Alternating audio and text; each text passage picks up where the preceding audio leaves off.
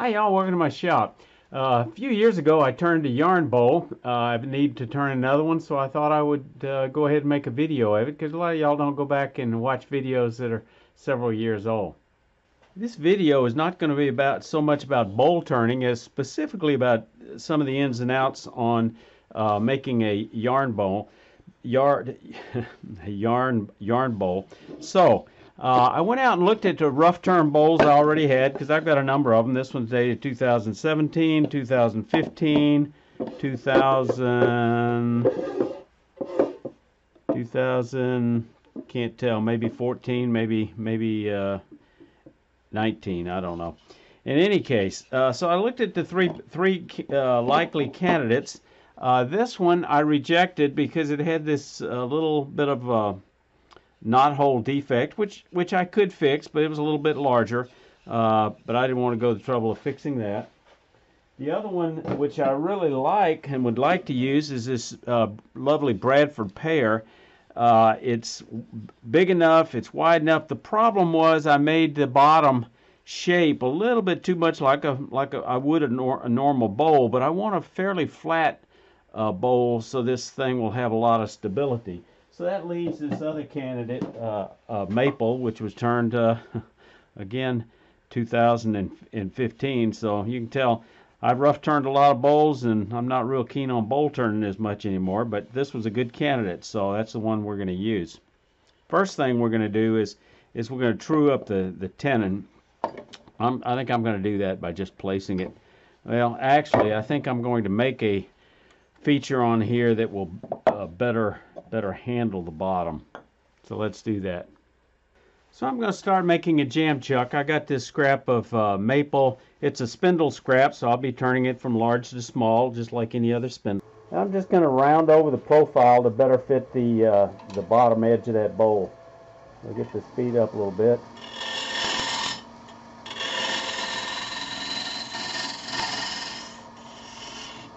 And I'm just going to round over this edge a little bit.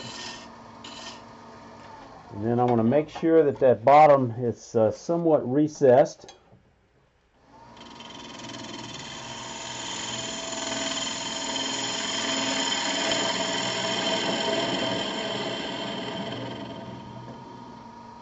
Okay, so I should be ready to go.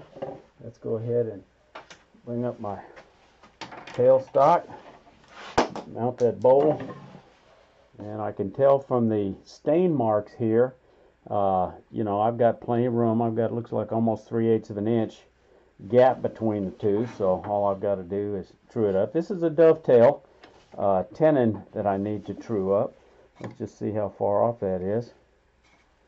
Just to get some idea. Pretty close pretty close. Comes in. Pretty close. Okay that's that's good. I'm going to use two different, I'm going to use a uh, bowl gouge to just start that cleanup process. Just screw it up.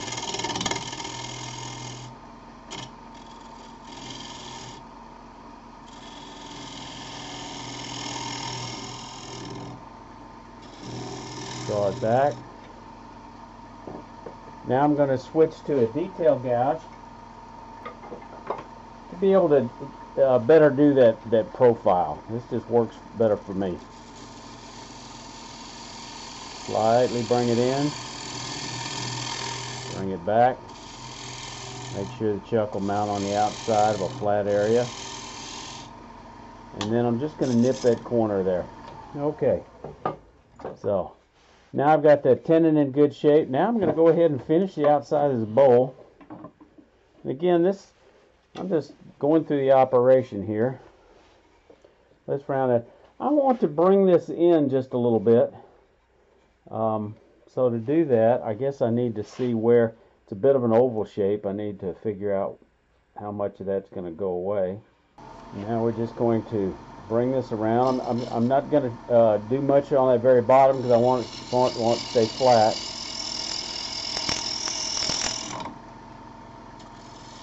Anchor the tool, ride the bevel.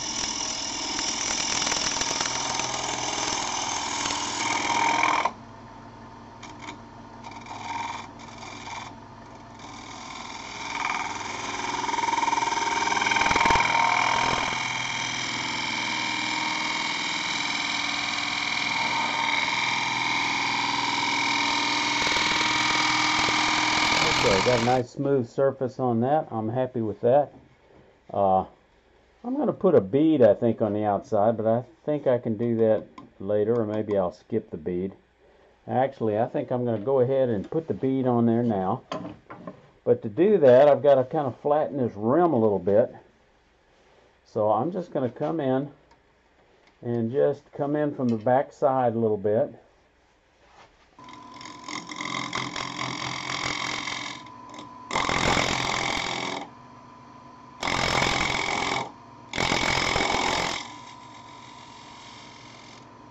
Just add a little tiny little little bead feature. I'm going to mark that first with this, where I'm going to do that with this point tool.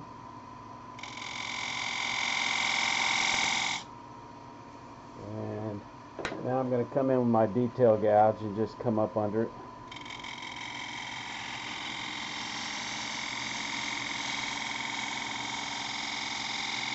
That'll add to the uh, the view of it being being enclosed I think. Now I'm just gonna round over that edge just a bit and come in there with a bit of a shear scrape. Okay.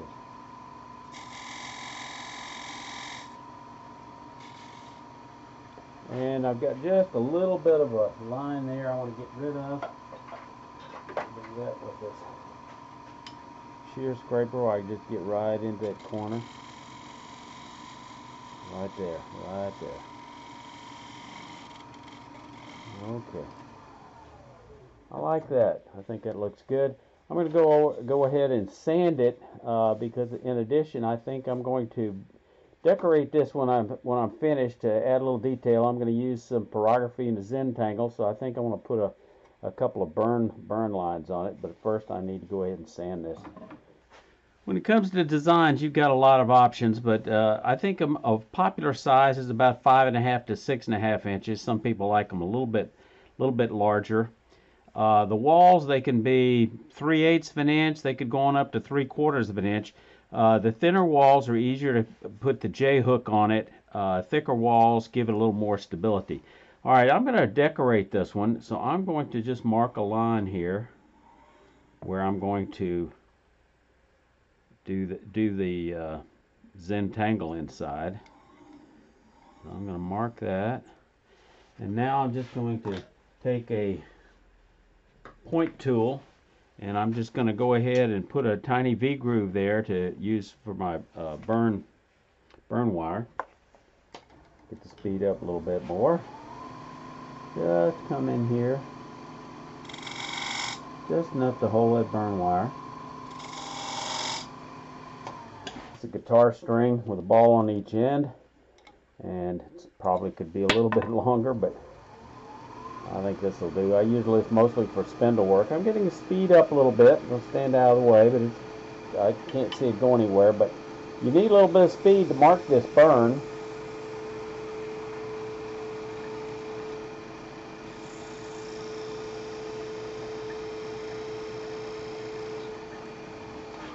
Okay.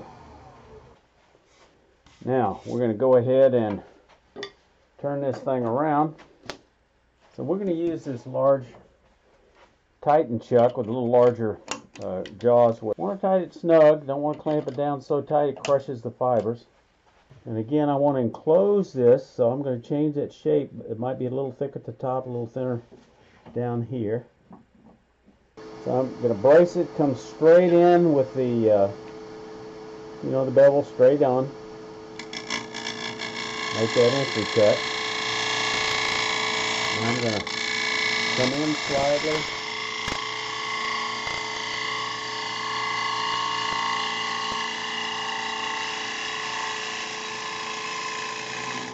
Alright, anchor the tool, ride the bevel.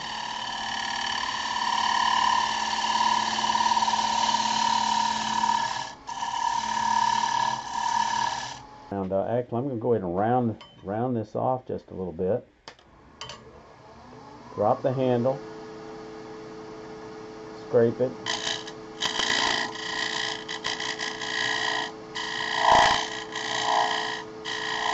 a little little bit of bump in the bottom. I'm going to come back here with this uh, negative rake scraper with a just sharpened edge to get rid of that little bump.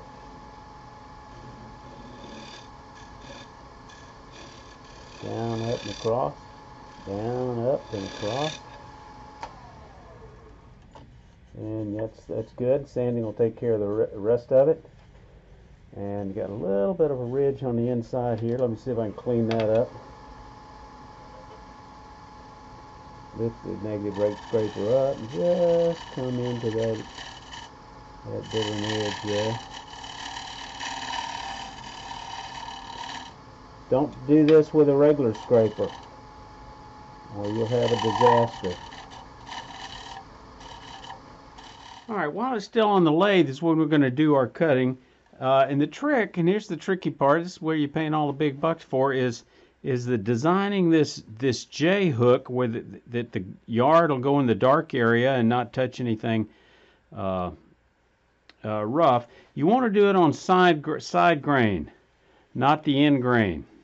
Between, okay, and cut this thing. I've seen, I've watched a lot of videos, and and if you're doing production work, uh, there's an Octo there's an issue, and I think it's October 2014 American Woodturner where someone made a jig so they could do a bunch of these and cut this with a router. Uh, other people have used various uh, Dremel accessory tools. Uh, want to give a shout out to uh, Kenneth Gunnell who uh, commented on my videos over the years. He suggested getting a special coping foot for a uh, saber saw and do it. But for me, I think what's going to work best is just a uh, coping saw. So let me lock this down. Now, your design on the S-hook very, very well may be different. Uh, I'm going to drill a hole. I better mark it with an awl. And I'm using 5 16ths of an inch. Uh, yours could be larger. I figured I could always make the, the hole slightly larger manually, but I can't make it smaller. So I've got a, I'm going to use a brad point bit so I can feel it when it starts to come through. I'm coming in uh, perpendicular to the surface of the wood.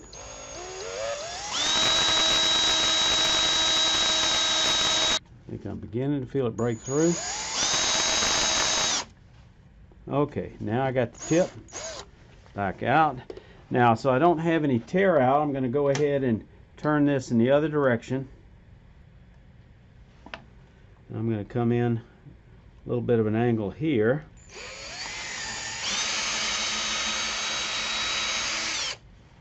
And that's a nice smooth, smooth hole. Drill aside. Bring it back. And now the challenging part is going to be using a coping saw. Probably should use a pencil and then transfer it with, with ink. Uh, I don't want to get that wood too thin or it'll flex and possibly break. Maybe it's just me, but drawing this X, uh, uh this J can be pretty tricky. Definitely do it all in pencil before you come back and mark it in, in uh, a Sharpie or something. I'm going to have to sand off this line here or incorporate it in my Zentangle design. So basically, you know, sketch out some ideas on how you want your whole overall bowl to look if you're going to do any decoration. All right, so here goes.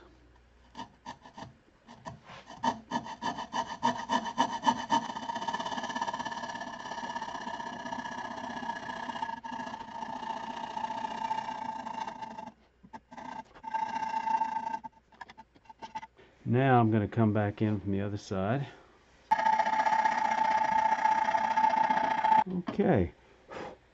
All right, I think I've got it. Now all I've got to do is to, uh, to sand it. I've got some fairly rough edges, so I think what I'm going to do first is use a Dremel tool. Okay, I've got my rotary tool. I call it a Dremel. It's actually Black & Decker. And it's got this uh, high-speed steel carving or, or carving burr. So I'm going to come in and come in as best I can from the bottom and then we'll turn it around and maybe see how's the best way to do it. I'm going to use the low speed and, and, and guide it with my fingers. Bring it toward me.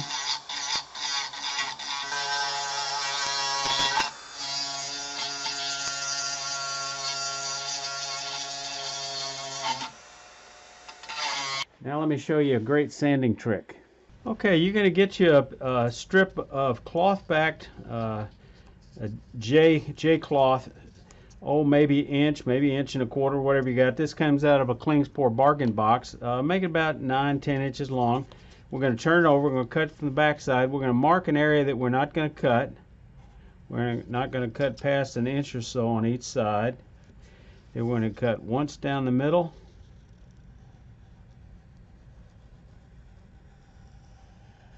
and then we're going to split that. So these are going to be about a quarter of an inch strips.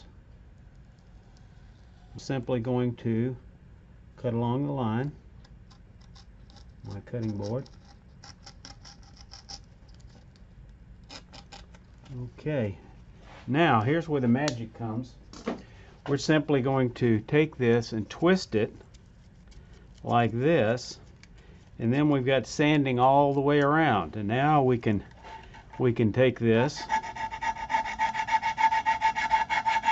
round over the edges, get in this hole, round over the edges.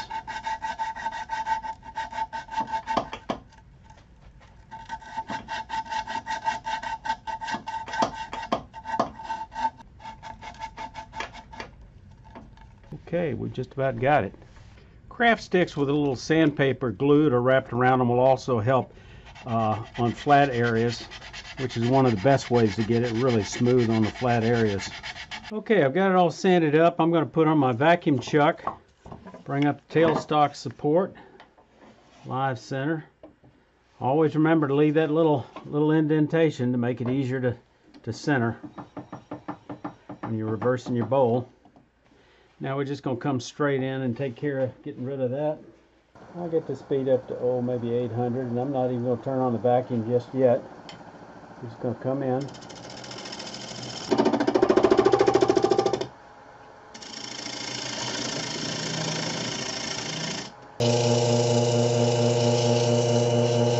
I added a little texture feature to the bottom of the bowl for interest, and I used a pyrography technique called Zentangle around the, uh, similar to this project and this chessboard, to decorate the outside uh, rim. The two small holes are for the knitting needles to come through for storage, and I used a little Minwax antique oil to finish the project off before I buffed it.